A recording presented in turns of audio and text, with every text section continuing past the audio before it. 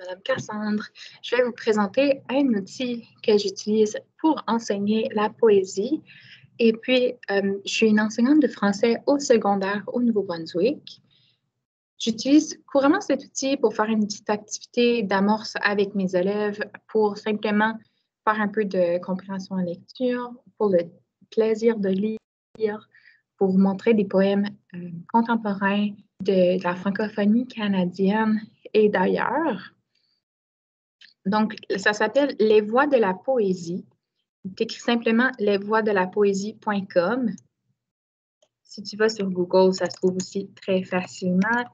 On va aller vous montrer ici, regarde, les voix de la poésie. Et puis, ça va ressortir tout de suite. Ce qui peut être intéressant avec ce site, c'est qu'il y a toutes sortes de différentes sections avec euh, des jeunes d'aujourd'hui. Vous voyez ici, découvrir qui sont les 42 demi-finalistes. On a un concours de poésie canadien ici. Et puis, les gens peuvent aller voter, donc c'est un site interactif. Il y a des concours, il y a des activités, il y a des rencontres possibles avec des poètes, euh, il y a des ateliers.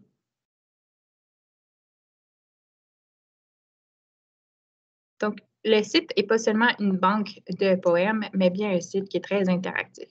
Donc, on peut aller lire des poèmes, en réciter, en écrire. Euh, on peut avoir des scénarios d'enseignement gratuits. On peut aussi aller visionner euh, la récitation de poèmes. Donc, vous pouvez voir ici, ce sont des jeunes, donc ça peut appeler beaucoup plus à la démographique et à l'école parce que ce n'est pas seulement des des personnes plus âgées qui sont déconnectées de la réalité, ce sont des jeunes ici.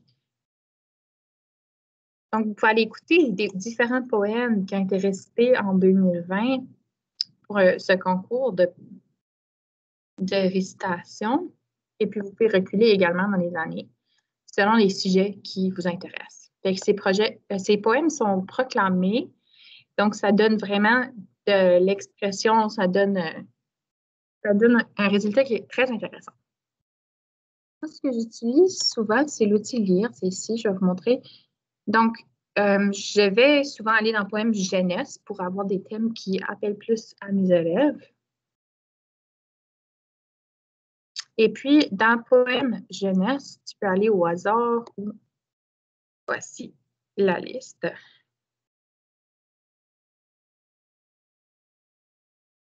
Donc, tu peux voir une photo de l'auteur. Si tu cliques aussi, il y a une biographie. Tu peux voir d'où est-ce qu'ils viennent, c'est quoi qui les intéresse, etc.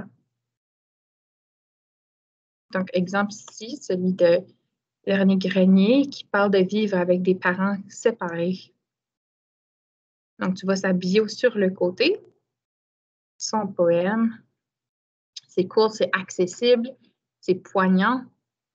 Tu peux aller voir des poèmes comme ça.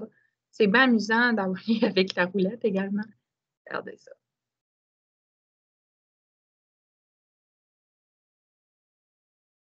Tu peux euh, choisir un thème.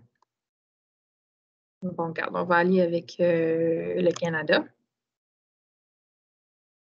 Peuple inhabité. Donc, ici, c'est un, un, poème qui va aller aborder euh, le paysage, qui va aller habiter l'absence, l'isolement.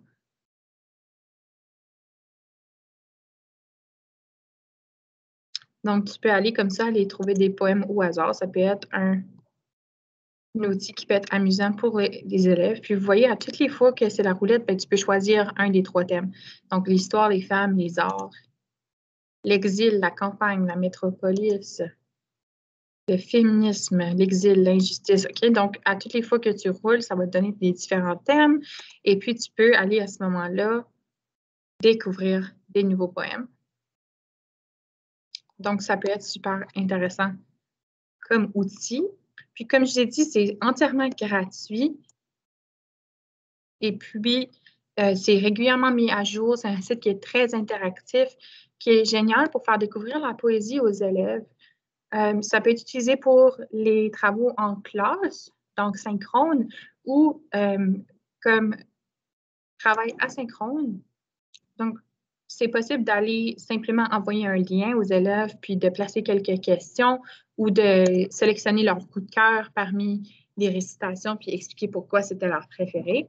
Donc, vous pouvez y placer votre personnalité, vous pouvez y placer euh, vos préférences.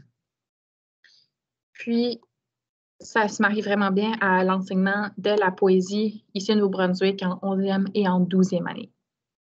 J'espère que vous avez apprécié. J'espère que ça sera utile pour vous. N'hésitez pas à me faire part de vos commentaires, me poser vos questions.